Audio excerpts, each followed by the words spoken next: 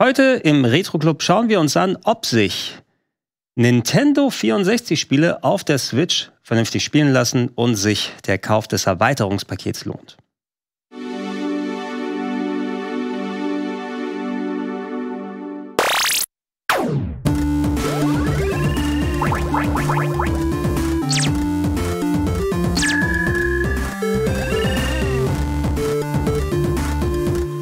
Schönen guten Tag, herzlich willkommen, werte Zuschauer hier auf Rocket Beans TV. Ich darf euer Gregor sein, ihr wisst es ja. Hoffentlich, wenn ihr schon mal die eine oder andere Folge gesehen habt, ähm, damit ich euch mal wieder schöne Retro-Gaming-Unterhaltung für ungefähr eine Stunde bieten kann. Da seht ihr es, followt gerne auf Social Media für coole Postings, falls ich irgendwann mal eins mache. Solange könnt ihr euch aber auch bei uns im ähm, Merch-Shop umschauen, denn wir haben wunderbares Retro-Club-Merch, unter anderem diese schönen Shirts und Hoodies und so weiter und so fort. Der Link ist auch nochmal in der Videobeschreibung für euch drin. Und nicht vergessen, ähm, ich bin gerade dabei, das äh, neueste Retro-Club-Buch zu finalisieren, das äh, die große Bucketlist des Gaming 100 Videospiele, die man in seinem Leben gespielt haben muss. Äh, ab Ende Juni 2024 erhältlich. Ich bin, wie gesagt, so in den letzten Zügen dabei, es zu finalisieren. Hoffentlich ähm, bin ich dann irgendwann so fertig damit, dass äh, ihr alle zufrieden sein werdet und ich auch und dass wir uns umso mehr dann den aktuellen Inhalten widmen können. Aber ich habe mir sagen lassen, dass es ganz gut wird. Aber ich bin da auch befangen. Das gebe ich in, der, äh, in dem Maße nochmal zu. Also, wir haben es erwähnt, ähm, Nintendo 64 ist heute das Thema und das, was ihr hier seht, ist kein normaler Nintendo 64 Controller. Er sieht zwar danach aus, aber wenn ich ihn mal umdrehe, hä, der, der, Slot ist ja gar nicht da, ist ja einfach nur so Plastik hier drin. Was ihr hier seht, ist der ähm, Nintendo 64 Nintendo Switch Controller. Ähm, das ist ein separater Controller, der für die Switch von Nintendo gemacht wurde. Unter anderem, natürlich hauptsächlich, aber ich denke, man kann ihn auch für andere Sachen benutzen, weil der gemappt ist auf die Switch-Sachen, um die Nintendo 64-Spiele auf der Switch zocken zu können. Und ähm, wir hatten uns vor ein paar Monaten unter anderem im Jugendzimmer mit dem Nintendo 64 beschäftigt. Ich hatte im Retro Club noch ein bisschen was dazu gemacht. Ähm, und äh, ich wollte mir aber bei Gelegenheit mal anschauen, weil ich habe noch ein bisschen ähm, Zeit auf meinem Erweiterungspaket drauf, wo ich dann über die Nintendo 64 Spiele verfüge und den Controller jetzt hier auch gerade. Ähm, wie gut funktioniert das eigentlich alles? Wie gut ist die Emulation darauf geworden? Was für Spiele sind erhältlich? Lohnt es sich überhaupt noch mal dieses extra teure Erweiterungspaket zu holen? Und ähm, ja, das werden wir heute alles einmal durchtesten und uns anschauen. Bevor wir auf den Controller konkret eingehen, wir können mal kurz auf das Ingame schalten. Ähm, was ihr hier seht, ist das Nintendo Erweiterungspaket-Menü. Ihr habt hier die Möglichkeit, unterschiedliche Abos bei der Nintendo äh, Switch abzuschließen. Wenn wir hier kurz auf die Mitgliedschaftsoptionen gehen. Ähm, wenn ihr online spielen wollt auf der Switch, da gibt es ja das normale Nintendo Switch Online, wie sie es genannt haben. Man denkt, okay, verglichen mit anderen Services wie äh, Game Pass oder PlayStation Plus oder sowas, ist ja vergleichsweise günstig, wenn man 3,99 äh, für den Monat ausgibt. Allerdings bei den anderen Services sind auch Spiele ähm, als Download mit dabei und hier hat man sich im Großen und Ganzen eigentlich hier holt man sich eher die Online-Fähigkeiten dazu. Ähm, da konnte man sich auch dann Jahresabos abschließen oder Familienabos, wenn man viele Leute dann online hat, die Mario Kart miteinander spielen wollen. Nintendo hat irgendwann auch mal weitere Inhalte dazu getan und das sieht ihr dann auf der unteren Seite. Das ist das sogenannte Nintendo Switch Online äh, Erweiterungspaket, das man sich in einem Jahresabo holen kann und das kostet dann aber gleich das Doppelte verglichen mit den zwölf Monaten des Standards Nintendo Switch Online für 39,99. Das habe ich auch vor knapp einem Jahr gemacht. Äh, ich musste mir jetzt nicht den Familienaccount für 66,79 dann holen für acht Nintendo-Accounts. Was für Rabatte man da kriegt von Nintendo, das ist ja auch ganz krass.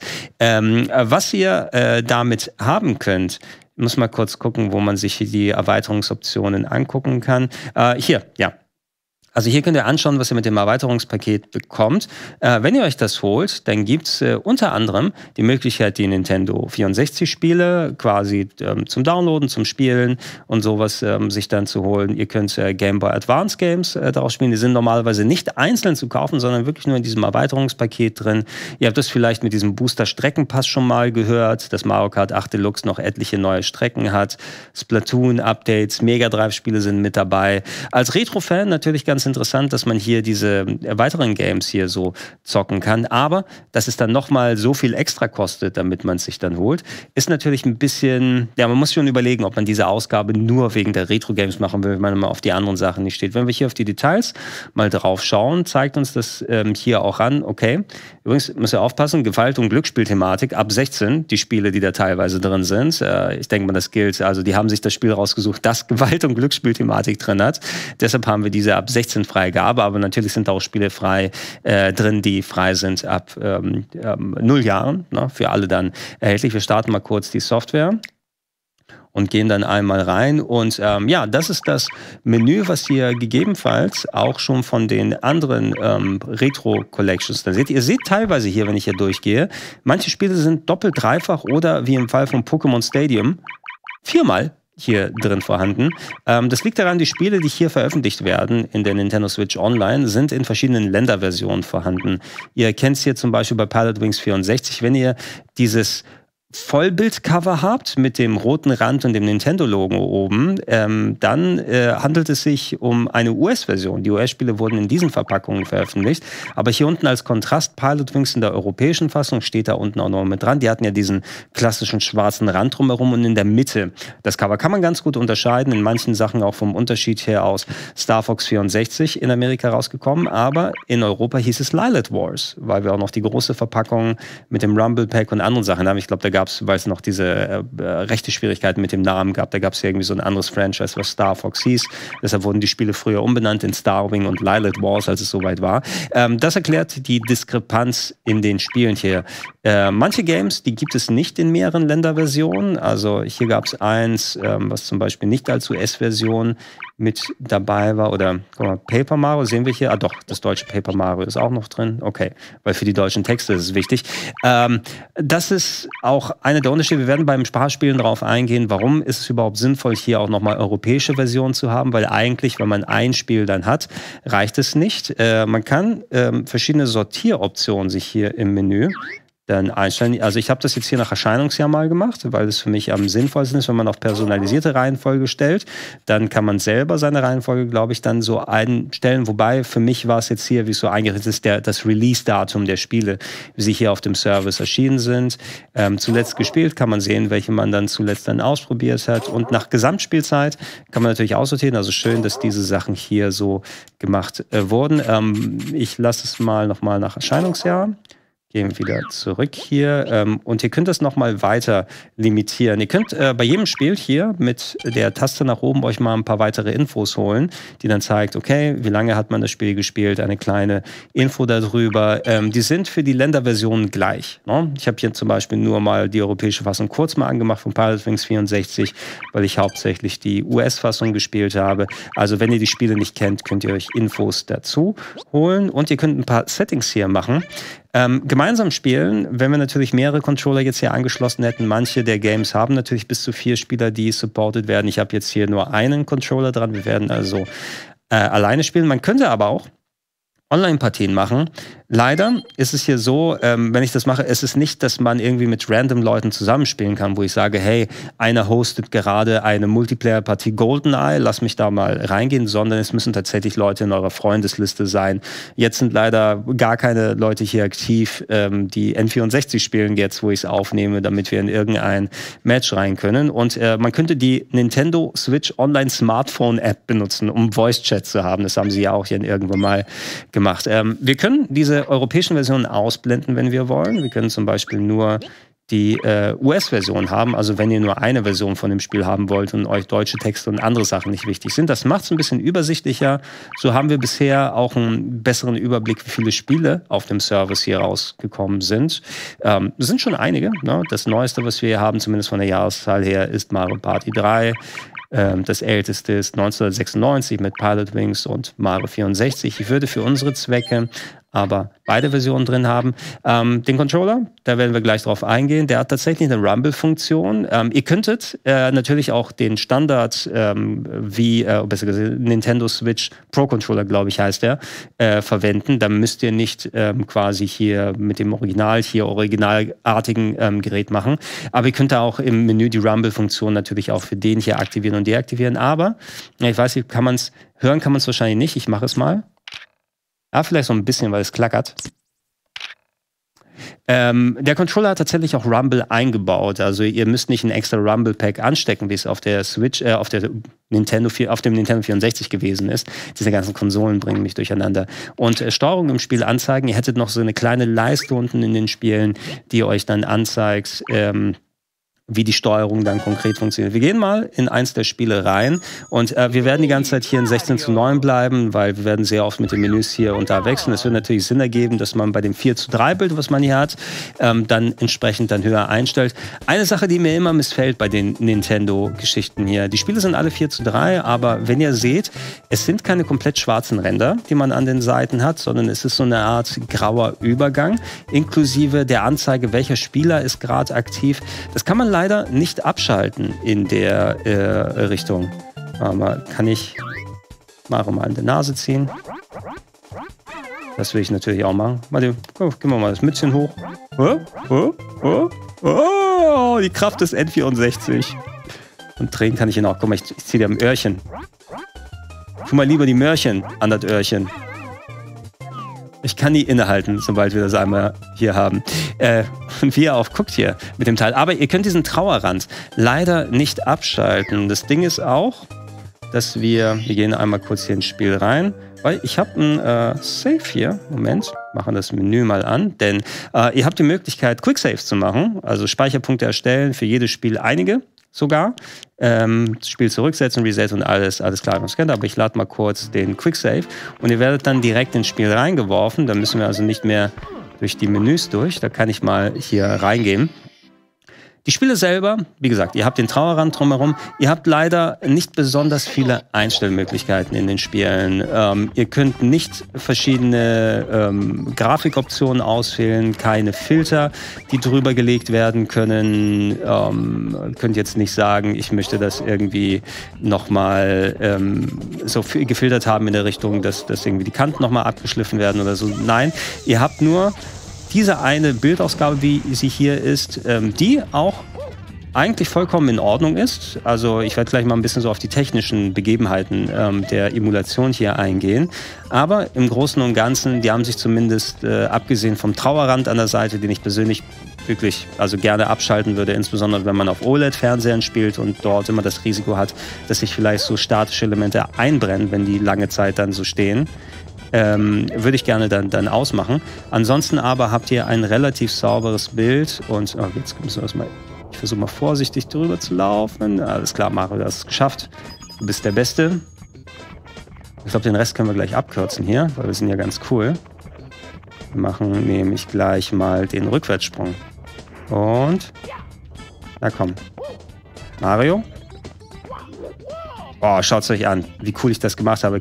König Bobomb lass mich dich einmal hier runterwerfen. Ähm, da das die US-Version ist übrigens, seht ihr auch die englischen Texte, die hier drin sind. Ich werde zum Unterschied auch gleich mal die PAL-Version anmachen. Ey, eine Sache, die man hier echt gut erkennen kann. Achtet mal auf Mario, jetzt auf Marios Figur jetzt an der Seite. Seht ihr, was für ein simpleres Polygonmodell da ist, wenn ich mit ihm herumlaufe? Ähm, das kann man jetzt hier, glaube ich, in der höheren Auflösung besser erkennen. Erst wenn ich in der Nähe bin oder stehen bleibe, ist das aufwendigere Modell. Aber wenn ich weiter weg bin, ist so ein Low-Poly Dreiecksgesichter ist mir auch sehr selten aufgefallen. Warte mal, ich muss um ihn herum rumlaufen und ähm, greifen. Ach nee, ich darf ihn nicht äh, runterwerfen ganz. Ich muss ihn so dann runterschmeißen und sage, wirf den König doch nicht vom Berg. Das ist doch komplett ungeil, was du hier machst. Äh, ja, ihr habt leider nicht besonders viele Darstellungsmöglichkeiten, was ich schade finde in der Hinsicht. Nicht nur wegen des Randes, sondern auch ähm, wie die Spiele hier dargestellt werden. Ich musste noch mal checken, mit welcher Auflösung läuft das eigentlich hier auf der Nintendo Switch. Äh, weil normalerweise Nintendo 64 Spiele, die sind ja in SD-Auflösung gelaufen, meist so in Richtung boah, 320 x 240 oder sowas müsste es gewesen sein, maximal, wie es auf früheren Fernsehern dann dargestellt wurde. Und äh, je nach System oder es hatten wir zum Beispiel auch bei der Nintendo Wii schon, wo es Nintendo 64-Spiele zum Download gab. Es gab so manche der Games, die wurden mit einer bisschen höheren Auflösung gezeigt, so 640 x 480, so dass die Kanten ein bisschen glatter gewirkt haben. Ihr seht es hier, es scheint so, ich habe noch mal im Internet geschaut, weil ich habe jetzt keinen Auflösungszähler drin. Ich habe zwar 1080p als Videoausgabe eingestellt, aber das muss ja nicht besonders viel heißen. Äh, gehen wir mal in eine andere Stage rein. Ähm, die Spiele scheint hier mit 720p zu laufen in dem Emulator hier. Das heißt also, die werden wohl auch, und ich denke mal, das scheint zumindest so zu sein, weil wenn man sich die Diskrepanz anguckt zwischen den Polygonmodellen, die nicht besonders, also sehen natürlich kantig aus, weil die im Original schon so gewesen sind, aber ihr seht jetzt nur nicht diese Sägezahnkanten oder ähm, es, sieht, es sieht eher aus wie saubere Kanten, die wir hier haben an Marius Mütze. Kann ich dich mal eindrehen? Mit der Kamera war es hier auch so ein bisschen knifflig, aber Ihr seht, was ich meine, oder an der Treppe können wir es zum Beispiel sehen. Es sind schon relativ scharfe Übergänge. Das bedeutet also, das Originalspiel wird mit einer um einiges höheren Auflösung gerendert, was in diesem Fall wohl dann eben diese 720p sind. Ähm, für aktuell ist das vollkommen in Ordnung eigentlich, weil zum Beispiel, wenn ihr 4K-Fernseher habt, da könnt ihr 720p-Auflösung tatsächlich mit einer Ganzzahl skalieren, sodass da nicht unschöne Artefakte entstehen für ähm, die technikaffinen Leute unter uns, denen solche Sachen wichtig sind. Ah, vorsichtig. Soll man dann aufpassen, dass ich auch nicht schlecht spiele dabei. Aber wir sehen so ein paar Sachen. Ihr seht hier auch zum Beispiel so ein paar Nähte, die nochmal deutlicher sichtbar sind hier an den Treppen, wenn man hier hochgeht. Und die Texturen selber wurden natürlich auch nur relativ dumpf hochskaliert. Das heißt, es sieht dann auch vergleichsweise nochmal verwaschen aus. Und dann habt ihr so einen, so einen Kontrast bei dem Spielen. So die grafischen Elemente, die man nicht auf... Das habe ich nicht gut gemacht. Aber dafür die rote Münze geholt. Ja, immerhin. Ähm, ein paar grafische Elemente, die nicht so vernünftig ineinander greifen. Die Texturen sehen dann entsprechend umso matschiger aus, wenn das drumherum dann schärfer in den 720p dann dargestellt wird. Und auch so 2D-Elemente bei den Menüs zum Beispiel oben, die ähm, so äh, Zahlen für die Münzen und die Extraleben und so weiter, die man geholt hat. Da hat es echt geholfen, wenn man vielleicht nochmal einen Zusatzfilter hätte reintun können oder irgendwas mit der internen Auflösung, dass die nicht so ganz hoch ist. So ein paar weitere Optionen, weil so kann es doch eine einigermaßen große Diskrepanz geben und ähm, es fühlt sich nicht mehr so ganz aus einem Guss an. Äh, es kann sehr gut sein, ich habe das jetzt hauptsächlich am Fernseher ausprobiert, wenn man es im Handheld-Modus spielt, dass äh, es da ein bisschen ja, kaschiert wird, sagen wir mal, durch den kleineren Bildschirm. So. Oh, vorsichtig, Mario. Mach das mal vernünftig. Ich muss mir echt wieder mal an so einen neuen N64-Controller gewöhnen, merke ich gerade. Weil ähm, ich habe N64-Spiele in den letzten Jahren meist mit anderen Controllern gespielt, aber dass ich richtig mit einem N64-Controller gespielt habe, der noch nicht komplett ausgeleiert ist, das fühlt sich echt ungewohnt an, weil der ist natürlich jetzt hier noch brandneu, äh, fühlt sich dafür aber originalgetreu an. Und ähm, äh, da muss ich erstmal wieder mit den anderen Wegen des Analogsticks zurechtkommen. Deshalb bin ich noch ganz froh, dass ich jetzt die Steuerung jetzt nicht so schlecht hier ähm, meistern kann. Sage ich gerade und ich falle hier die ganze Zeit runter. Komm, bleib mal stehen, Mario, wollen mal hoch, den Aufzug hier. Äh, aber ja, oder auch bei solchen großen Gegnern wie hier, ihr seht schon, wie wischiwaschi manche von den Texturen aussehen. Ich hätte nicht dann erwartet, dass du hier ähm, komplettes grafisches Update bekommst. Okay, Speedrun-Tricks habe ich jetzt nicht, sowohl. Aber ich kann hier durchlaufen und dann mache ich den hier. Immer schön auf den Rücken drauf. So, gib mir nochmal ein, ich laufe nochmal durch. Nochmal auf deinen Rücken mit dabei. Also grafische Darstellung hätte gerne mal ein paar mehr Optionen sein können. So wie es ist, ist schon in Ordnung, aber vielleicht doch ein bisschen zu clean insgesamt und zu abgetrennt voneinander. Ein Scanline-Filter hätte ganz gut geholfen. Ähm, wenn wir hier bei dem Controller gewesen sind, also es ging nach ein bisschen Eingewöhnung wieder, ähm, dass ich mit dem Analogstick jetzt hier so zurechtkomme. Grundsätzlich das Pad und äh, wir können mal kurz auf die äh, Close Kamera hier schalten, dann kann ich das nochmal ein bisschen detaillierter zeigen. Äh, ich habe mir nochmal ein Original N64 Pad hier mit dazu geholt und dass wir die Unterschiede mal hier sehen können. Ähm, das ist schon natürlich ein bisschen älter. Ich habe auch den Unterschied gemerkt. Also der Stick hier, der ist zum Glück, der ist noch einigermaßen fest. Der ist noch nicht so ganz, danke sehr, der ist noch nicht so ganz ausgeleiert. Der hat noch einigermaßen Zug, aber das ist natürlich kein Vergleich hier mit dem brandneuen Stick, der wirklich auch Der quietscht nicht, der hat guten Zug, mit dem kann man vernünftig hier noch so in die Ecken dann packen. Ansonsten sind die ziemlich baugleich. Das hat Nintendo ja wirklich schon bei den Neu-Controller-Bauten eigentlich ganz gut gemacht, dass die von den Hörnchen hier, wie das alles so in die Hand geht, ähm, Steuerkreuz und andere Sachen fühlen sich gut an, Button Placement und so. Die Unterschiede sind natürlich gerade äh, primär im oberen Bereich. Ihr seht hier, das originale N64-Pad hat natürlich das Kabel, das neue braucht das Kabel nicht. Man geht ja mit Bluetooth dann hier ran. Und der Slot, wo das Rumble Pack und das Erweiterungspack für zum Speichern reinkommen würden, ist hier nicht äh, vorhanden in dem äh, neuen. Ansonsten aber ist das alles sehr originalgetreu umgesetzt. Ähm, wenn wir hier schauen, wie gesagt, hier ist einfach nur so eine Plastikschale. Rumble ist mit äh, verbaut innerhalb der Controller. Hier oben haben wir aber ein paar zusätzliche Buttons.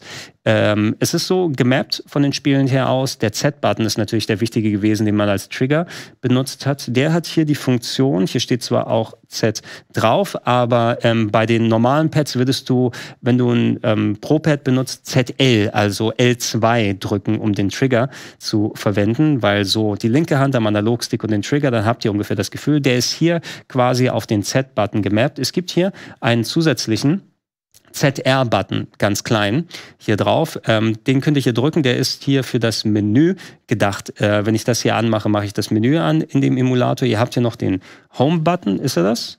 Ja, genau. Das ist der Home-Button hier, ähm, damit ihr wieder in das Hauptmenü von der Switch zurückgehen könnt. Und den Screenshot-Button haben sie hier auch nochmal mit dabei für die Leute, die dir Screenshots machen wollen. Als auch der Sync-Button hier, ähm, mit dem hier könnt ihr dann ähm, den Controller an die Switch verknüpfen. Ihr seht hier auch die vier Lichter, die dann als Indikator da sind. Welcher Player bin ich hier gerade? Hier gerade als Player 1 mit dabei. Ansonsten aber, der Controller ist schon echt gut. Ich müsste mal gucken, den muss man sich über den Store dann holen, ob der aktuell noch erhältlich ist oder nicht weil den gab es eine Zeit lang mal und dann wieder nicht, weil der ausverkauft gewesen ist. Und ich muss schauen, was der Preis ist. Ich meine, es könnte rund um die 50 gewesen sein. Ich check das nachher nochmal äh, in der Pause. Ähm, muss man schauen, ob das einem die Ausgabe wert ist. Jetzt, wo ich mit dem hier die Nintendo 64 Sachen gespielt habe, muss ich sagen, ich würde es ungern mit anderen Controllern wieder spielen, weil es ergibt vollkommen Sinn, diese Games hier äh, entsprechend mit dem Controller zu sagen. Gehen wir aufs Ingame? dann nochmal rauf. Wir haben gerade Mario 64 in der US-Version ausprobiert und ich werde jetzt nicht zu lange hier reingehen, aber ich mache es einmal hier kurz an und ähm, ich lasse mal dann laufen. Der Grund, warum wir hier auch die europäischen Versionen drin haben, wie gesagt, Länderversion. Nicht alle Spiele hatten dann auch internationale Texte. Hier können wir zumindest die Sprache wählen und dann sagen, wir wollen es auf Deutsch haben. Das ist ganz praktisch einmal hier dabei, aber hier habe ich natürlich noch nicht keine Saves. Leistung bedeutet übrigens ähm, hier, glaube ich, nicht, dass man äh, einen Leistungsmodus auswählt, sondern man kann sich hier angucken, äh, was man geleistet hat bisher im Spiel. Ich gehe einmal hier kurz drauf. Äh, und während das Intro hier läuft, kann ich euch ein bisschen was über die Unterschiede erzählen. Ich habe mir mal ein paar Vergleiche angeschaut. Es war ja so, die Unterschiede damals, NTSC-Spiele in Japan und in den USA, die Spiele waren ja für diese Konsolen ausgerichtet. Und die Fernsehnorm, die ist ja ein bisschen anders gelaufen als in Deutschland mit ähm, 60 Bildern pro Sekunde. Ähm, das heißt also, äh, verglichen mit den 50 Bildern pro Sekunde, die wir hier in der europäischen PAL-Norm gehabt haben, die dafür aber ein paar Zeilen mehr Auflösung hatte. Das hat oft darin resultiert, wenn die Spiele aus Japan und USA umgesetzt wurden, dass die zum Beispiel so ein paar unschöne Balken oben und unten hatten, manche dicker als andere Spiele, dass die eine langsamere Spielgeschwindigkeit Geschwindigkeit haben, wenn die nicht angepasst gewesen sind, einfach diese NTSC-Spiele auf PAL laufen lassen. Auf einmal hat man 17, schieß mich tot Prozent langsamere Geschwindigkeit. Haben wir damals als PAL-Kiddies nicht wirklich gemerkt, aber wenn man sich die Originalspiele dann anguckt, ist es dann umso äh, kniffliger geworden es war nicht immer grundsätzlich so, dass PAL-Spiele unbedingt langsamer gewesen sind und ähm, mehr Balken gehabt haben, sondern äh, manche der Hersteller, äh, Nintendo unter anderem auch in gewissen Fällen, haben sich darum gekümmert, äh, Anpassungen zu machen. Die haben das Bild dann wieder statt mit dem Balken dann intern hochgestreckt, damit man wieder die konkrete Aspect Ratio hat. Ähm, in manchen Fällen, dass die Spielgeschwindigkeit auch nochmal durch eine, was weiß ich, höhere Taktung oder ein bisschen andere Programmierung angepasst werden kann, dass es sich nicht langsam langsamer und ruckliger anfühlt. Ähm, Ich habe das Gefühl hier, ähm, ich habe mir auch ein paar Vergleichsvideos angeguckt, es ist immer so ein bisschen schwierig zu sehen, in welcher Fassung vor allem, wie hat sich das im Original geäußert, wie ist es jetzt hier mit dem Emulator, wie hat Nintendo nochmal dann hier darauf agiert. Es sieht auf den ersten Blick sehr gleichwertig aus zu der NTSC-Fassung, aber ähm, äh, für mein Gefühl hier, es läuft schon ein klein bisschen langsamer, das deutsche Mario 64 dass hier keine Anpassung passiert ist, innerhalb auch von dem Emulator oder von der Originalversion. Und so hat man so ein bisschen die Diskrepanzen. Ihr seht, es fühlt sich ein bisschen ruckliger, ein bisschen hakeliger ein. Das ist jetzt rein subjektiv gesagt. Ähm, vielleicht kann es auch sein, dass ich mir das einbilde am Ende, aber es sieht doch schon so aus. Ne? Und, und ähm, in den meisten Fällen, wenn euch die deutsche Sprache nicht wichtig ist, würde ich auch eher zu den NTSC-Versionen greifen, die hier mit verbaut sind, bis auf eine bestimmte Ausnahme. Das werden wir auch nochmal gleich drauf eingehen. Äh, Mario 64 ist aber so ein Spiel, wo man das ähm, entsprechend ganz gut vielleicht mal erblicken kann. Und anderswo gibt es nochmal deutlichere Unterschiede. Zurück zur Spieleauswahl. Ähm, Pilot Wings ist zum Beispiel, ähm, war mein allererstes N64-Spiel, was ich damals gespielt habe. Und hier haben wir gerade die NTSC-Version angemacht.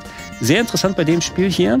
Ähm, eins der wenigen, die auch nochmal verbessert worden sind hier in dem Emulator, denn ihr seht, 60 FPS oder nahe 60 FPS, die waren so nicht drin im äh, Originalspiel.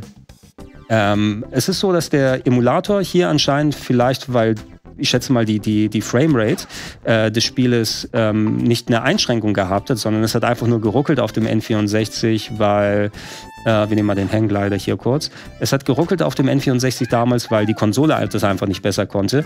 Hier aber läuft es tatsächlich mit fast 60 Bildern pro Sekunde und das gibt dem Ganzen nochmal ein anderes Feeling, gerade wenn man so in diesem Flugspiel hier unterwegs ist.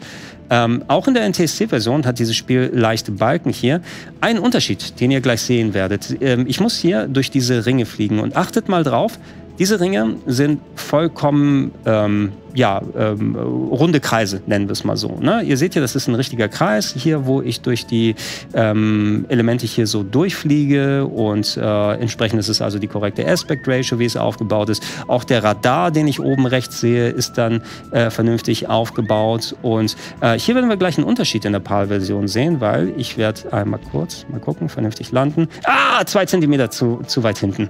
Ich hätte fast, wie viel? 98 Punkte, wie viel kriege ich? 93. Ich hätte gern die 100 gehabt, dass ich die hier mitbekomme. Habt ihr euch gerade gemerkt, wie die Ringe gewesen sind? Wir gehen hier nämlich kurz mal auf die PAL-Version rüber. Und hier ist es so zum Beispiel, ähm, Pilot Wings, für mein Gefühl in der PAL-Version, es läuft gleich schnell wie die NTSC-Version, aber anscheinend hat man intern noch mit der Aspect Ratio so ein bisschen gestreckt. Die Balken sind auch ein klein bisschen, ja, ist es ein bisschen mehr Balken da unten? Ihr werdet es gleich an den Ringen sehen, wenn wir in die gleiche Mission hier reingehen. Ähm, die sind anscheinend ein bisschen ovaler, warum auch immer. Wir gehen hier kurz rein. Also es ist nicht so, dass es irgendwie so richtig enorm spielstörend ist, aber es fällt einem auf, dass alles ein bisschen, bisschen gestreckt aussieht. Der Radar oben auf der rechten Seite ist immer noch kreisrund. Ja? Also da ist eigentlich alles so, wie man es kennt, aber die internen grafischen Elemente, wenn man genau hinguckt, es wirkt alles ein bisschen schmaler und, und gedrängter. Hier. Und also mir kann niemand erzählen, dass das jetzt klassische Ringe sind. Das sind eindeutig Ovale, wo man jetzt hier durchfliegt. No? Ne? Und ja, weiß nicht, ob das im Original dann auch so gewesen ist. Es ist lange Zeit her, dass ich die originale N64-Version dann äh, gespielt habe. Ähm, vielleicht ist es eine Sache, dass man hier nochmal das Bild gestreckt hat, äh, damit es dann entsprechend besser ausschaut und man nicht so viel Balken hat. Ah, Kriege ich das jetzt hin? Das sind doch 100. Das sind doch eindeutig 100 Punkte. Oder? Jawohl! Schaust dir, zeig mir, zeig mir die Zeile, guck mal, wie geil ich gelandet bin.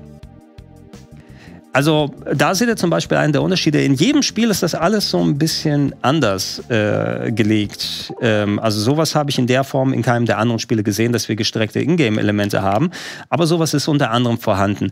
In den meisten Fällen, ihr müsst es mal dann schauen, so von den Vergleichen, die ich gemacht habe, ich gehe hier kurz mal meine Liste durch. Ein bisschen langsamer als das Original, ähm, als die NTSC-Version läuft Mario 64, Wave Race und Zelda Ocarina of Time. Lief ein bisschen langsamer, gefühlt gleich schnell, waren solche Spiele wie Star Fox 64, Pilot Wings oder auch Banjo Kazooie was wir hier einmal anmachen können. Und hier, das ist der eine Unterschied, den ich nochmal ansprechen wollte. Banjo Kazooie ist eh ein Spiel, was in Europa entstanden ist, bei Rare damals. Und da als Ausnahme natürlich, ne, weil die meisten Spiele in Japan und in den USA dann rausgekommen sind. Allerdings hier war quasi die waren die PAL-Konsolen die Lead-Plattform. Für diese wurde das hauptsächlich entwickelt und da waren erst die NTSC-Versionen die Adaption. Ähm, das bedeutet also, das Spiel läuft hier mit der angedachten Geschwindigkeit. Ja, das war die Geschwindigkeit, in der Benjo Kazooie damals laufen sollte. Ähm, und äh, die NTSC-Version musste dann gegebenenfalls eingebremst werden, damit die vielleicht nicht zu so schnell ist, aber da hat man sich dann darum gekümmert. Es ist hier also nicht so, dass es da eine Diskrepanz gibt. Falls die NTSC-Version in dem Fall schneller laufen würde, ist es ein Programmierfehler bei der, äh, der äh, NTSC-Version. Das hatten ja auch einige Spiele, ich meine, was war es? Back to the Future 3 auf dem Sega Mega Drive. Da war die NTSC-Version so schnell, weil es ein europäisches Spiel war, dass es quasi unspielbar wurde und dass man es nicht mal ablaufen lassen konnte. Ähm, hier bei Banjo Kazooie könnt ihr, glaube ich, aber ruhigen Gewissens dann ähm, die PAL-Version nehmen, weil das ja auch die Originalfassung ist. Ansonsten könnt ihr immer schauen, welches ihr euch dann genehmigen wollt. Ja, von den Spielen her aus, ich habe mal bei ein paar angemacht. Also wir gucken uns vor der Werbung noch mal ein paar Nintendo-Klassiker an und gehen dann auf die ein bisschen esoterischeren Games ein. Ähm, laden wir mal kurz den Spielstand, weil hier bin ich schon. Wo bin ich hier gelandet? Bin ich schon im bin ich schon im Dungeon hier drin? Oh, das ist, das ist schon ganz gut. Ähm, ich hatte ja schon gesagt, hier hatte ich äh, nachgeschaut, die PAL-Versionen laufen ein bisschen langsamer. Ich kenne eigentlich nur, auf dem N64 habe ich die PAL-Version damals x-fach durchgespielt von Ocarina of Time. Ähm, natürlich mit den Einschränkungen, aber mir ist nie aufgefallen, dass es jetzt hier so groß langsam läuft. Das Spiel ist eher eins. Ich finde, das kaschiert es eigentlich auch ganz gut, ähm, weil man gewöhnt sich sehr fix daran, ähm, dass es jetzt kein 60 FPS-Spiel auch kein 30 FPS-Spiel ist, sondern eher ein 20 FPS-Spiel, was in der PAL-Version eher mit 17 FPS dann gelaufen ist. Tatsächlich. Also auch für heutige Zeiten würdest du wahrscheinlich sagen, holy shit, was geht hier ab? Was kann ich hier denn damit anstellen? Aber ähm, wenn man sich einmal dran gewöhnt hat, geht es wieder einigermaßen. Und äh, ansonsten kann, mich, kann ich mich hier bei, bei äh, Ocarina auch wirklich äh, ich beschweren. Gerade mit dem ähm, N64-Pad, wo ich dann eben auch wirklich wieder mit den äh, gelben C-Buttons hier zum Beispiel meine ganzen Einstellungen machen kann.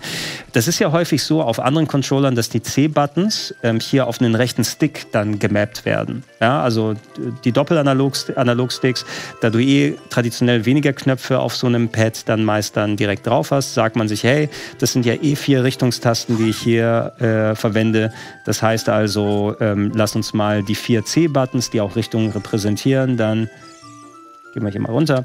Die vier Buttons, die das repräsentieren, lassen wir das auf einen Analogstick packen. Aber das ist ein bisschen ungeil. Hier bei Zelda werden sie zum Beispiel benutzt, um Items zu wechseln und das dann durch eine Analogstick-Bewegung, ähm, durch einen Schwenk dann zu machen, finde ich so ein bisschen ungeil. Und ich merke einfach, gerade hier bei sowas wie Ocarina of Time oder ah, ich wollte mich eigentlich verstecken davor. Komplett falsch gemacht. Jetzt laufe ich wieder rein. Ich wusste es. Ich hätte, ich hätte dem hinterherlaufen sollen. Hier in der Kiste habe ich natürlich schon längst mein Schwert hier so rausgeholt. Ähm, es ist auf jeden Fall sinnvoll, was wir auch bei anderen Spielen dann sehen werden. Das N64-Pad macht es hier nochmal tatsächlich authentischer und es hilft einem so diese Diskrepanz im Kopf ähm, nochmal einfach wegzubekommen, weil ich muss dann tatsächlich immer noch bei modernen Controllern umrechnen. Moment, C-Button rechts, ach ja, Analogstick in die Richtung schwenken und wie verteilt man sich die B- und A-Buttons nochmal? Ähm, in den meisten Fällen, du hältst hier ja immer noch dann für die Analogstick-Spiele den mittleren Griff und äh, nicht nach außen hier, wie du es mit dem Steuerkreuz hast. Da hast du ja genau diese, diese Mittelgriffstellung, die ist ja wirklich Nintendo 64 eigen. Ähm, manche Spiele bieten natürlich auch an, dass du mit der anderen Hand für Linkshänder das machen kannst oder dass du auf dem Steuerkreuz hier längst, aber normalerweise hast du nicht diese diese klassische Griffhaltung hier, sondern das eh über das hier so gelegt. Und, und es fühlt sich einfach gleich wieder natürlicher und besser und ähm, schöner an. Ähm, lass uns mal kurz in eine kleine Pause gehen und wenn wir gleich zurück sind, schauen wir uns ein paar der ähm, ungewöhnlicheren Spiele hier auf dem ähm, Nintendo Online Service an. Was machst du da? Ich zermal hier nur ein paar Bohnen für meinen Kaffee. Du zermalst Bohnen? Sag mal, bist du eigentlich völlig verrückt geworden?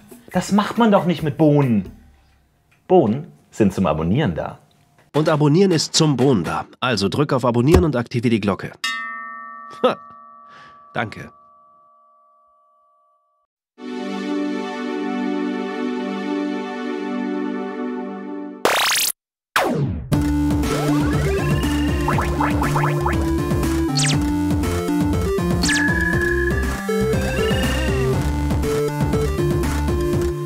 Da sind wir wieder zurück im Retro Club. Heute kümmern wir uns weiter um N64 Games auf der Nintendo Switch. Haben gerade im Vorfeld ein bisschen über die Unterschiede zwischen PAL und NTSC-Version gesprochen, und den speziellen Controller hier angeschaut, wo ich gerade nochmal gecheckt habe. 49,99 ist die unverbindliche Preisempfehlung von dem Controller. Ich müsste den mal sinken. Ähm, da ist ein Bluetooth-Controller, ist ein Switch-Bluetooth-Controller. Ähm, ich würde den mal, ich habe ja so Adapter, wo ich dann die an andere Systeme anschließen kann. Mal gucken, ob ich dann auch in Emulatoren und anderen Softwares mit dem hier spielen kann, weil das wäre echt sinnvoll.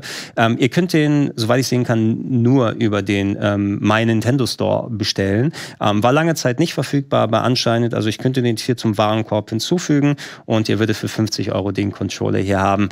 Wenn ihr Multiplayer-Spiele machen wollt, so zu vier und so weiter, also Einmal kann man sich das wahrscheinlich überlegen, dafür ein Fuffi auszugeben, aber dann gleich vier Controller für insgesamt 200 Euro zu holen, wird es ein bisschen schwieriger. Dann kriegen die anderen die ähm, restlichen Switch-Controller, mit denen man spielen möchte. Äh, so, ähm, wir gehen gerne aufs Ingame, gleich mal wieder drauf. Wie gesagt, wir haben uns gerade mal ein paar der klassischeren Games angeguckt. Von der Spieleauswahl her, und ich werde jetzt einmal kurz auf die nordamerikanischen Versionen nur umschalten, damit das nicht so... Wobei, äh, verpassen wir da was? Nee, wir verpassen nichts, weil hier nochmal ein spezieller Sonderfall drin ist, aber so, dass wir die, den Überblick hier mehr haben können.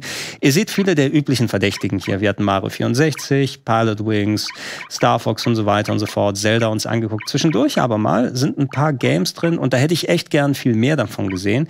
Wie zum Beispiel Jet Force, warten wir es? Das ist von den Jahresjahren, ah, da ist es hier. Jet Force Gemini hier mit dabei ein ähm, Third-Person-Shooter, den es auf dem ähm, N64 äh, gegeben hat. Und hier seht ihr gleich, eine Ausnahme, da habt ihr gesehen, presented in Widescreen. What? Auf dem N64, ja.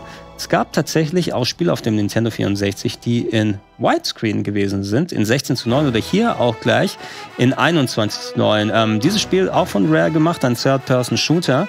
Ähm, ich habe den auch mal ähm, so dann nach langer Zeit ausprobiert und bin damals auf dem N64 nicht ganz so zurechtgekommen. Jetzt habe ich lang das Tutorial einmal gemacht, damit ich es dann halbwegs habe. Äh, die Sache ist es bei diesem Spiel, ähm, und ihr seht, es ist zwar 16 zu 9, aber es ist noch mal knapper. Es hat trotzdem Balken oben und unten. Ich würde fast 21 zu 9 dazu sagen. Ähm, ihr könnt das hier im Menü umstellen unter Widescreen Settings. Wenn wir Widescreen dann ausmachen, haben wir das klassische 4 zu 3 Bild, ähm, dann auch voll ausgefüllt hier. Entsprechend Rare haben darauf geachtet, wobei wir haben jetzt die NTSC-Version angemacht. Wenn wir Widescreen anmachen, kriegen wir hier diese breite Ansicht und ich könnte mit den Buttons hier das Bild nochmal hoch und runter packen, je nachdem, wo es ist. Warum sie sich jetzt für dieses 21 zu 9 entschieden haben, ähm, es scheint ja auch ein anamorphes Bild zu sein, würde ich jetzt sagen. Also das ist die interne Voller, wobei, nee, es ist nicht anamorph, sonst könnte ich nicht hoch und runter bewegen. Ähm, wahrscheinlich wird damit nochmal Rechenleistung eingespart, würde ich jetzt äh, rechnen, weil dann muss die Konsole die oberen und unteren Bereiche nicht berechnen für euch hier, sondern nur die mittleren. Also hier haben sie schon was dabei gedacht. Finde ich gut, dass der Emulator hier tatsächlich dann aber auch nicht trotzdem die Randbalken behält und dann noch ein gestauchteres Bild in der Mitte hat. Äh, ich lade mal den Speicherpunkt, weil dann sind wir schon ähm, da hier drin. Und ihr könnt tatsächlich hier in den ultra breit 16 zu 9 Settings rumlaufen. Äh, was mir zwischendurch aufgefallen ist, manche der Elemente hier sind äh, trotzdem ähm, ein bisschen zu breit. Ihr habt es an den Menüs gesehen, wenn wir hier reingehen. Diese Elemente, die haben sich nicht nochmal die Mühe gemacht. Hier schon, wenn wir in das Menü reingehen, aber zum Beispiel der Rand drumherum. Manche Sachen wurden einfach gestreckt auf das 16 zu 9. Ich denke mal, weil sie sich gedacht haben, nicht zu viele Leute werden jetzt diese Option benutzen. Ich will mal kurz gucken, ob ich meine Steuerung hier umstellen kann. Unter die Options einmal rübergehen sehr viele Settings, Control Mode. Ich würde mal nicht auf den Expert Mode schalten, sondern kann ich das äh, hier mit dem, nehmen wir mal Normal Control. Das macht es für mich ein kleines bisschen leichter. Es gibt viele verschiedene Steuerungsmöglichkeiten. Hier nochmal einen Third-Person-Shooter ohne zweiten Stick zu spielen.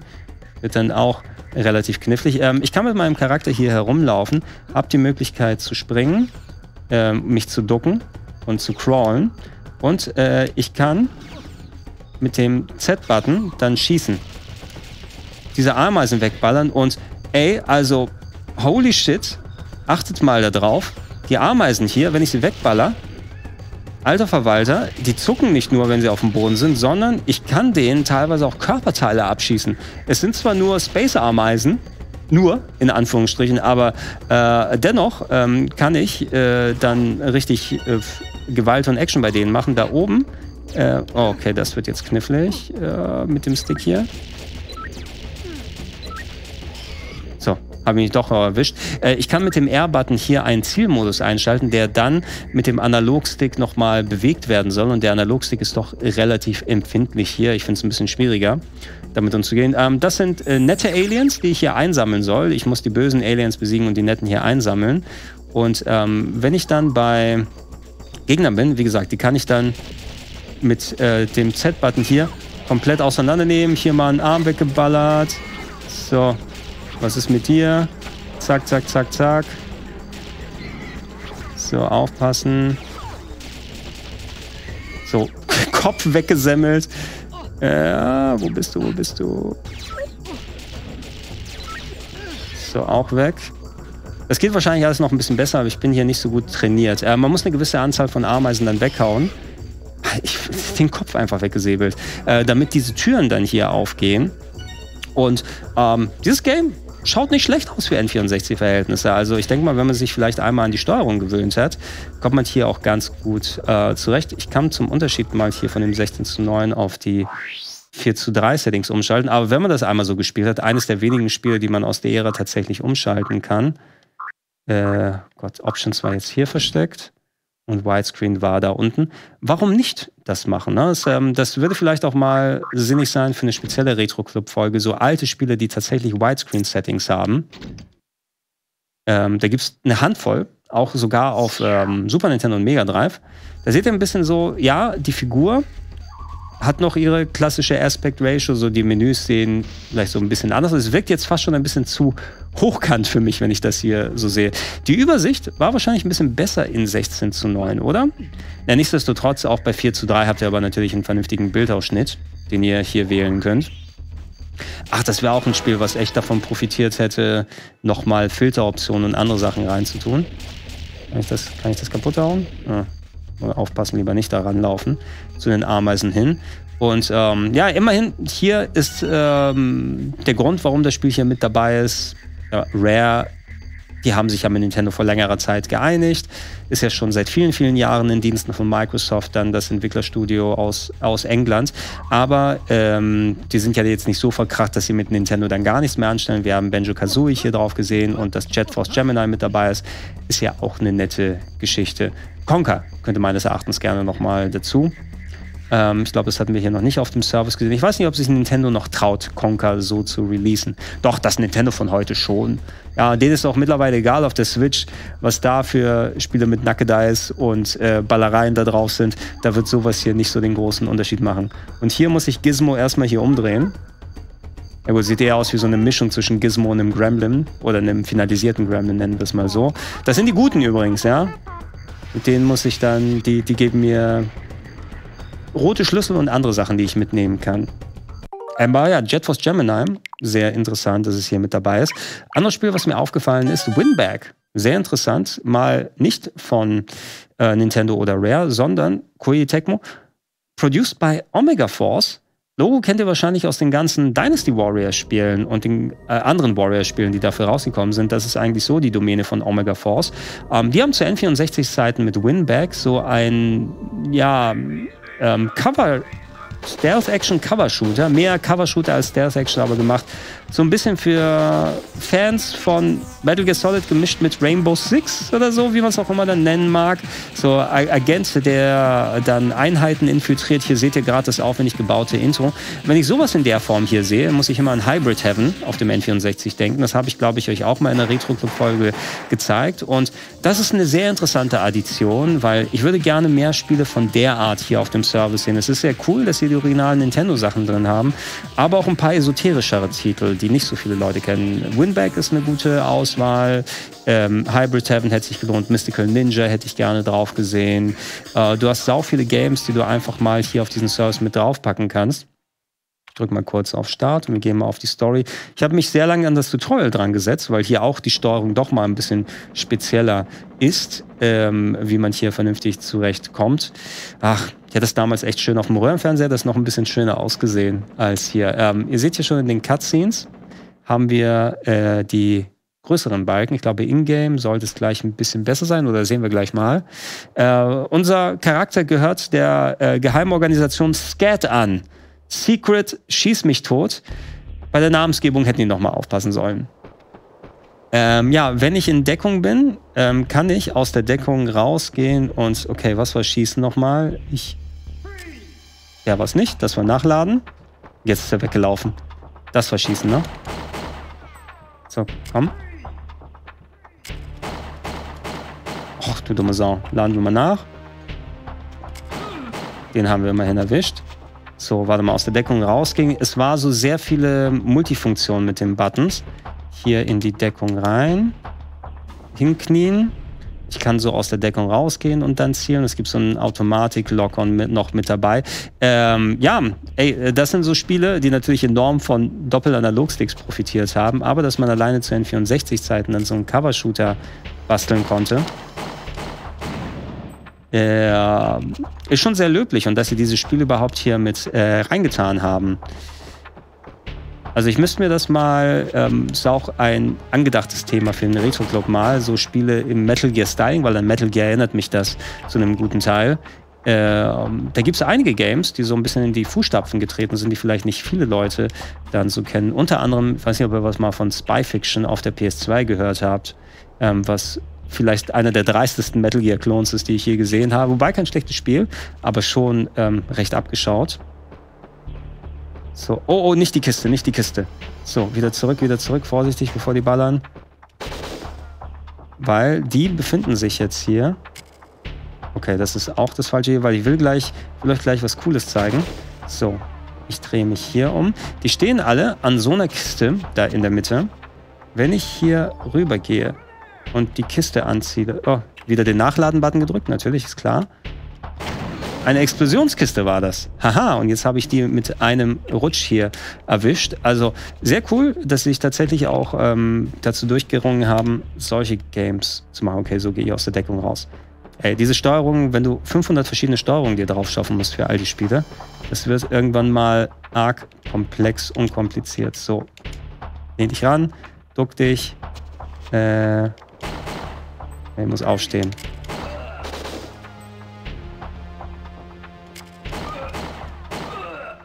Glaube, ich habe beide erwischt. Na, den noch nicht. Der läuft aber auch ein bisschen beschissen, der Typ da drüben, ne? Das ist, das ist kein, kein gutes, gutes taktisches... Der läuft schnell genug, dass ich ihn trotzdem mit dem Autolockern nicht erwische. Apropos Autolockern, lass uns einfach mal das Auto hier benutzen als Cover. Weil der Typ da oben... Einmal nachladen. Der macht das, glaube ich, nicht so cool, denn... Oh Gott! Meine einzige Schwäche, Kugeln von unten, haben mich hier erwischt. So, ähm, ich konnte Nahkampf machen. Ich glaube, da steht ein Gegner hier drin. Wie kann ich mit Nahkampf draufhauen? Das glaube ich, A in der Nähe. Probier es mal. Gleich.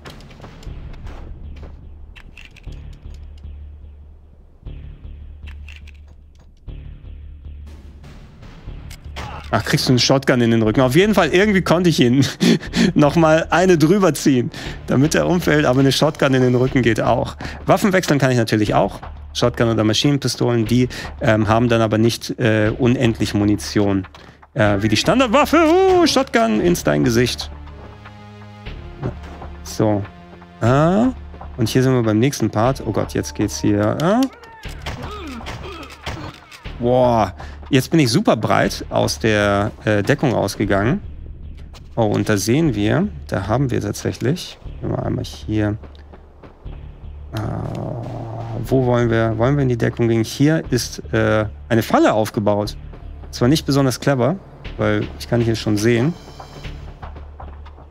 äh, dass ich hier nicht durchkomme. Ich konnte mich ducken und, und drunter krabbeln, glaube ich. Nicht nur diesen Crouchwalk hier machen sondern noch weiter drunter. Was war die Funktion dafür? War das mit den C-Buttons? Ne, hier oben wechsle ich. Hier gehe ich runter. Das ist eine Rolle. Kommen wir mit der Rolle da durch? Wahrscheinlich nicht. Was passiert? Eine Laser-Trap. Oh, ich bin gleich Ach, okay. Ich kann mir das andere auch sparen, denn rein zufälligerweise ist äh, der entsprechende Button hier nochmal da und lass mir einfach mal drauf schießen. Oh, ein Glück gehabt. Das haben sie nun davon, dass sie die Dinger so weit hingepackt haben. Oh Gott, oh, das war nicht so gut von mir. Halb Energie weg.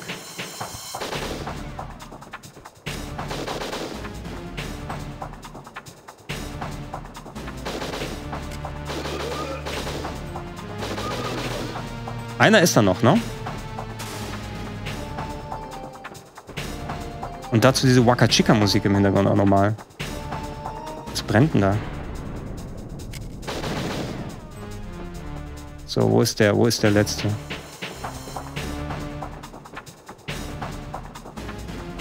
Da ist er. Okay. Drei Shotgun-Shots haben wir noch. Komm aus der Deckung raus, mein Freund. Meine Energie sieht aber nicht besonders geil aus. Ui! Deck dich. Ein Shot nur noch. Und dann war's das. Shotgun Shells immerhin. Wow, mein Freund. Deck dich, deck dich. Kannst du dich da decken? Nee, kannst du nicht. Dann deck dich mal hier. Oh nein! Ich wurde gedeckt, statt zu decken. Operation Winback aborted. Abgebrochen. Du warst leider nicht gut genug dafür. Äh, ja, wir wechseln mal auf ein anderes Spiel. Aber sehr cool, dass sie auch sowas hier mit verbaut haben. Ähm, bei den sonstigen Neuerungen hält sich so ein bisschen in Grenzen. Also es sind ein paar unbekanntere N64-Spiele dabei, Excite Bike 64. Ähm, das Spiel hat nochmal eine besondere Relevanz, denn dieses Game hat zwei Features unterstützt vom N64, die wir bei anderen Spielen so nicht gesehen haben, nämlich das Expansion Pack. Das war eines der Spiele, ähm, mit denen du mit der Expansion Pack ähm, dann Zusatzfunktionen freischalten könntest. Eine höhere Auflösung werden wir gleich sehen. Aber auch, ihr seht hier diese Anzeige, no suitable controller packs were found. Also, es gab etliche Nintendo-Spiele, ähm, die konntet ihr dann auch hier oben in diesen Slot reinpacken. Die haben die ähm, äh, entsprechenden äh, Memory Packs oder wie auch immer dann gebraucht, ähm, äh, Memory Cards, ne? also wo ihr auf speziellen Karten dann abspeichern musstet. Und diese Funktion scheint gar nicht vorhanden zu sein hier. Also ihr seid zwar nicht aufgeschmissen, denn man hat jederzeit die Gelegenheit, hier auch immer noch Speicherpunkte zu erstellen, um so auf diese Art abzuspeichern. Aber Spiele wie Excitebike 64, die das unterstützt haben, ähm, die, äh, du kannst nicht klassisch damit absaven. Wenn wir noch mal kurz bei den Optionen hier schauen. Ich glaube, das kann man hier, da, Controller Pack wurde es genannt, genau. Expansion Pack war das mit dem mehr, mehr Arbeitsspeicher. Controller Pack hieß es dann, um die Memory Card ums abzuspeichern. Und No Controller Pack detected. Ihr habt auch nicht die Möglichkeit, hier über das Menü irgendwie so ein virtuelles Controller Pack einzustellen. Aber das wäre zumindest noch Ingame Save wäre ganz nett gewesen für sowas hier Nintendo, dass ihr, dass ihr sowas hier nicht mit dabei gepackt habt oder zumindest konnte ich die Option hier nicht sehen. Bisschen merkwürdig. Ähm, dadurch, dass wir das Expansion Pack aber drin haben für, die, für den mehr Arbeitsspeicher, gibt es hier den sogenannten High-Res-Modus, den wir zuschalten können. Ich lasse den einmal kurz aus und wir fahren mal eine Runde. Äh, Excitebike 64 kein besonders tolles Spiel, muss man sagen. Also ich mochte das Original auf dem NES eigentlich ganz gerne, aber hier hat man sich dann gedacht, wie kann man es denn mit so 3D-Grafik äh, nochmal besser umsetzen oder besser für moderne Verhältnisse damals. Ähm, ich nehme mal hier kurz Jumping Jim Rivers als Charakter, mit dem ich hier rumfahren kann. Und ihr seht so bei 4 zu 3 einigermaßen großen Bildausschnitt. Ähm, das ist nicht der High-Res-Modus, sondern der Standard-Modus. Wir heizen einmal dran. Wir haben verschiedene Perspektiven, die wir wählen können. Ich nehme mal ein bisschen die weitere ähm, inklusive einem Sprecher, der ordentlich hier ranzimmert. Äh, was ich ganz lustig fand, ist es. So, wo ist es? Welch, da ist der. Okay, hier können wir schon ein bisschen sehen. Ihr könnt auch auf die Rückansicht schalten und achtet mal auf die Augen des Fahrers. Ich gehe, wenn ich gleich mal um die Kurve drumherum bin, kann man es hier so ein bisschen sehen. So, Alter, diese Augen, sie starren in meine Seele. sie wollen bei mir reinschauen. Oh, aber dann soll ich es nicht zu sehr überbeanspruchen bin ich leider nur auf dem vierten Platz, mache die Kamera mal wieder ein bisschen weiter. Also schlecht, schlecht ist es jetzt nicht, aber es war jetzt nichts hier mit dabei, was mich so groß dann überzeugt hat. Ja, wie viele Runden habe ich? Ich glaube, drei habe ich, ne? Äh, ich muss mal ein bisschen besser abbremsen hier. Es ist ein bisschen schwierig, die äh, Bikes hier zu kontrollieren. Auf, auf späteren Strecken wird es tatsächlich noch mal ein bisschen anstrengender. weil man dann auch äh, achten muss, vernünftig über die Hubbel hier rüber zu kommen. So, also falls dann, wenn es dann noch mehr Runden als die jetzt hier gibt, werde ich aber trotzdem mal ausmachen und euch den High-Res-Modus mal zeigen, weil wir brauchen hier nicht zu viele Runden von Excite Bike. Na, wo ist, ist, ist das Ziel noch nicht angekommen? Drei Runden. Finish, so. New Lab Record, aber trotzdem nur dritter Platz für Jumping Jim Rivers hat es dazu gereicht. Wir gehen mal weiter. Ähm, der High-Res-Modus hier, interessant. Gehen wir einmal auf OK. Und weiter. Main Menu der ähm, auf den ersten Blick denkst du, ist da jetzt was passiert oder nichts? Aber wenn man ins Spiel reingeht, sieht man da den Unterschied. Ähm, es gab eine Handvoll Games, die das Expansion Pack vorausgesetzt haben. Du musstest es drin haben, um die zu spielen wie, spielen wie Majora's Mask, was wir hier auch drauf haben. Wir nehmen mal die gleiche Strecke, damit wir da den Unterschied sehen können. Aber wie Majora's Mask, bei anderen Spielen war es eben so eine optionale Sache, wie hier, dass man eine intern höhere Auflösung und andere Sachen zuschalten kann. Und diese Option ist hier drin. Das sieht aber im Fall von ähm, dann komm, nehmen wir nochmal Jumping Jim Rivers. Da sehen wir, wie er in High-Res jetzt hier ausschaut. Ähm, hier äh, seht ihr es aber gleich bei der Strecke. Oh, es ist quasi ein Widescreen-Modus geworden, aber nicht klassisch Widescreen, sondern das Problem, was ich ein bisschen bei Jet Force Gemini angesprochen habe.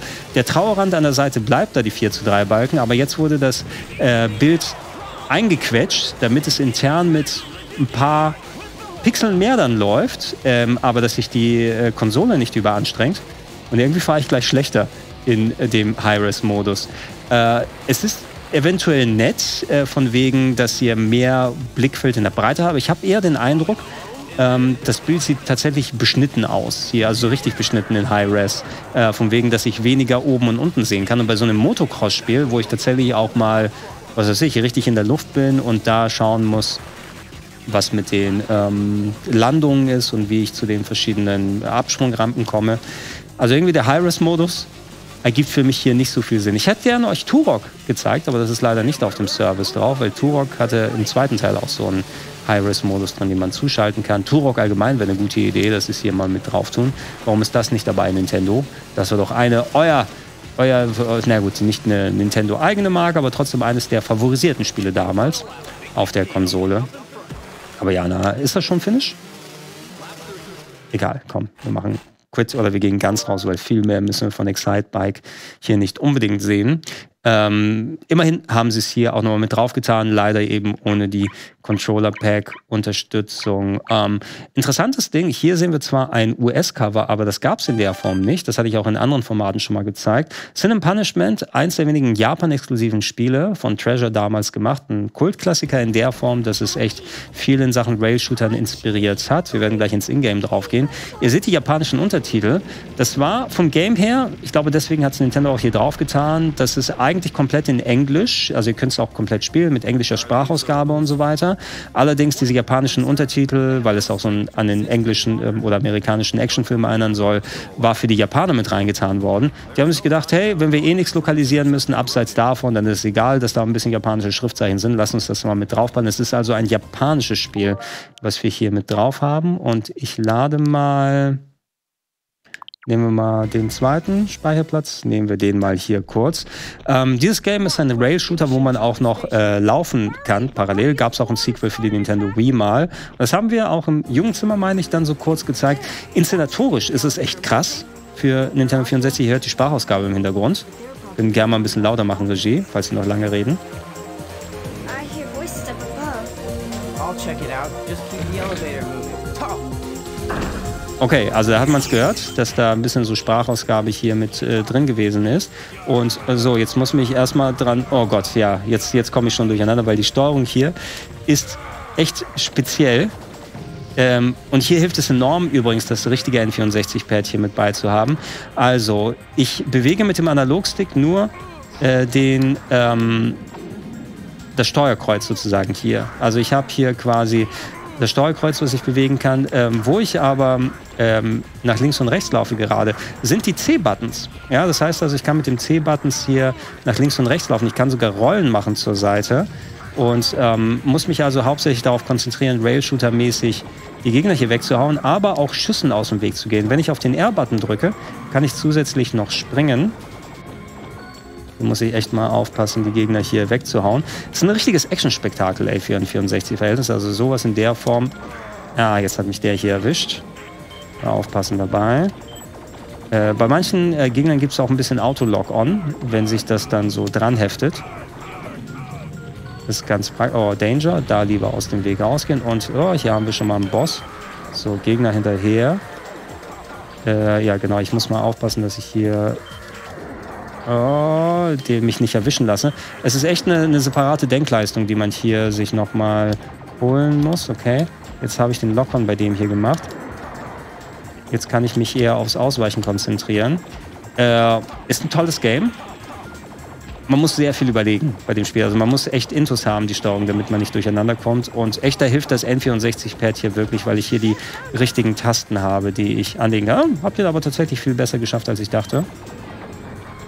So, ähm, jetzt kommt noch äh, ein zweiter Charakter bei uns hier dazu. Oh oh, wir hier rechtzeitig nochmal drum herum gehen. Äh, hatte ich mir damals, also weil Import auf dem N64 waren eh ein bisschen schwieriger, von wegen äh, mit so richtig Importadapter, die allgemein funktioniert haben, gab es nicht und Umbauten waren, meine ich, auch nicht so wirklich gang und gäbe oder zumindest nichts, was so super verlässlich war. Da musstest du dir lieber ein richtiges NTSC N64 holen.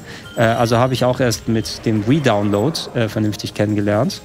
Äh, aber das, das ist echt eine coole Addition, dass wir so ein Game hier nochmal äh, mit dabei haben. Und inszenatorisch ist das wirklich schon ganz geil. Lass mal wieder lauter machen, Regie. Ich glaube, die labern jetzt gleich wieder. Oder? Transport. Iron, take the control. Hurry, Stalky! Whoa! Hold on!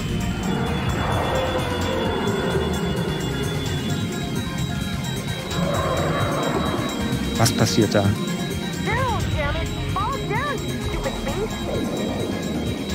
Gerade nochmal den Gegner mit dem riesigen Raumschiff erwischt. Und jetzt wäre natürlich, jetzt muss ich mich drumherum kümmern. So ein bisschen die Seitenperspektive jetzt hier, ne? Aber bevor wir jetzt hier zu lang, ich mache mir einfach mal einen Speicherpunkt, damit ich hier dann weitermachen kann, wenn denn nötig. Äh, könnt ihr natürlich bei Gelegenheit selber gerne ausprobieren. Ansonsten, ja, ey, ihr habt sehr viele Classic Nintendo Games hier mit dabei. Äh, GoldenEye haben sie auch nochmal dann äh, rausgebracht, ähm, nachdem die Downloads für die anderen Plattformen rausgekommen sind. Ähm, hier hilft es übrigens auch enorm. Oh, wir gehen mal auf Fortfahren. Ich glaube, hier kann ich den Standard-Safe laden, weil das Modul-Safe dann hatte. Äh, hier hilft es auch enorm, den N64-Controller zu haben, weil ansonsten muss man das auf andere Controller. Es spielt sich nicht wie ein klassischer Twin-Stick-Shooter, man muss da sehr viel mit eigenen Einstellungen arbeiten. Mit dem normalen N64-Controller läuft schon äh, ein Tacken äh, besser und, und flutscht ein bisschen mehr.